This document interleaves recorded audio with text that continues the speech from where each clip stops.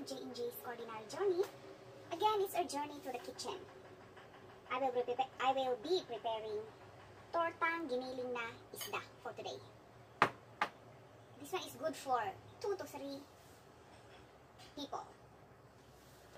So, again, let's start the begin.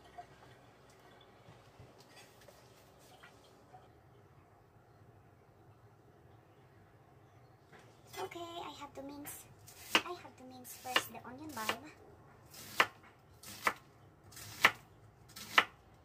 Sorry, hindi ako marunong mag-mince ng mabilisan.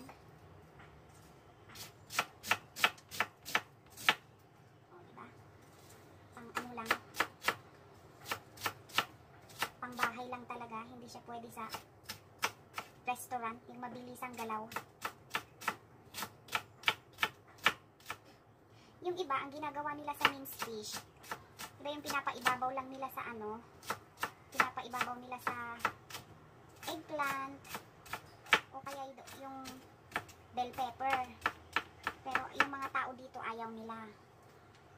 Ayaw nila yung ano, ayaw nila yung ganon. Mas gusto nila yung gawing torta.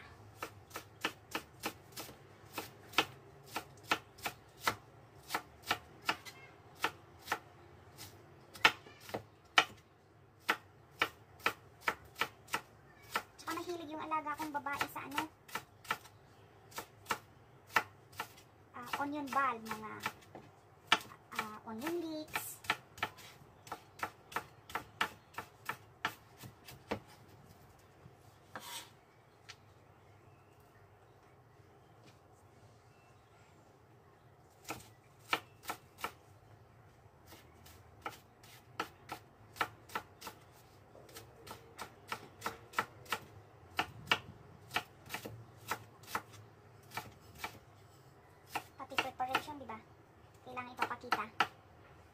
To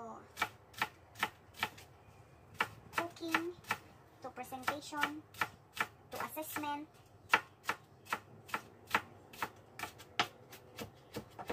And then, ilagay sa minced fish. Ito yung minced fish.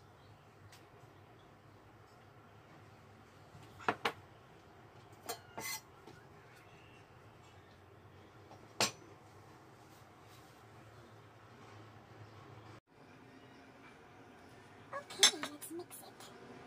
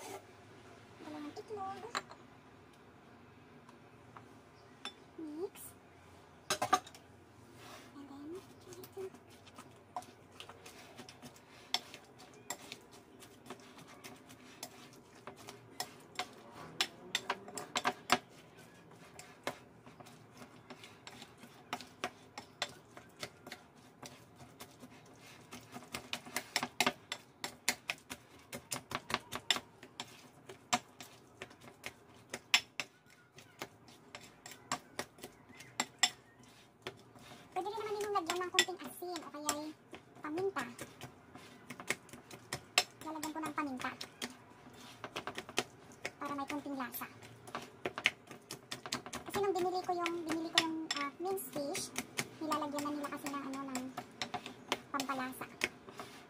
Kaya medyo salty. Eh, salty is not good. So, lagyan ko na lang ng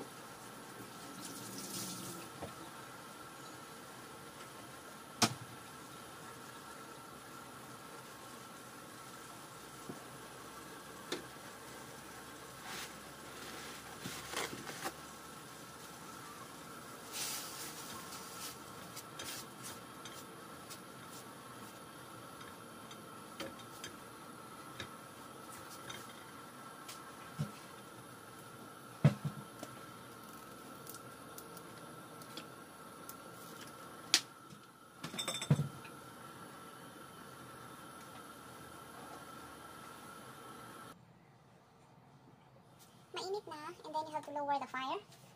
Para hindi naman siya masunog. Ipo-form nyo lang siya na para siyang patty. Ayan. Hindi naman kailangang perfectly shape. Pero kung perfectionist kayo, pwede rin. Pwede rin yung shape na bilog na bilog.